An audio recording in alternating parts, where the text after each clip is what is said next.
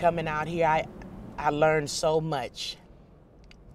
Me and my sister, we stood out here, talked to the girls, and one of them, I showed her a picture of my daughter, and she told me, she said, she's so pretty and she looks so innocent, but she doesn't look like this anymore. And as we're sitting here, I'm seeing this young lady out here.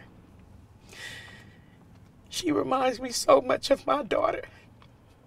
I found my daughter one day out here in some shorts, just as short as those shorts she has on.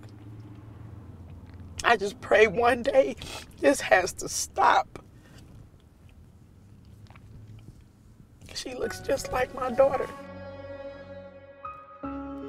Traffickers, abusers in other states know that you can come to Oakland to buy children. This issue affects every single child. This is happening in your community. Your community children are being sold for sex. How did we get here to a space where the bartering and selling of our children is at a tipping point?